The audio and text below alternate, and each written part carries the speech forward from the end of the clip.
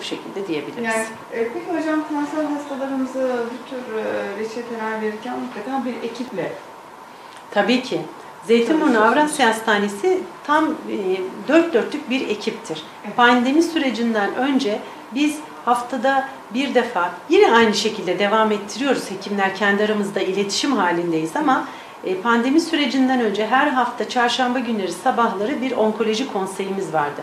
Bu onkoloji konseyinde biz bütün hekimler e, oraya onkolojiyle ilgilenen bütün hekimler e, oradaki toplantıda hazır bulunurduk ve hastanın kanser teşhisi konmuş olan hastanın tedavisinde nasıl yol çizeceğimize karar verirdik. Önce kemoterapi mi, önce radyoterapi mi, önce cerrahi mi bunların kararını verirdik. Radyoloji uzmanlarımız tümörün bulunduğu yeri bize işaretlerdi.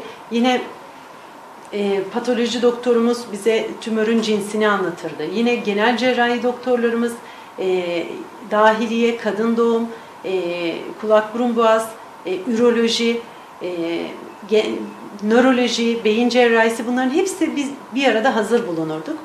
E, o yüzden e, yaptığımız işi layıkıyla yapıp hastaya en doğru tedaviyi yapmak için elimizden gelen gayreti sarf ediyoruz.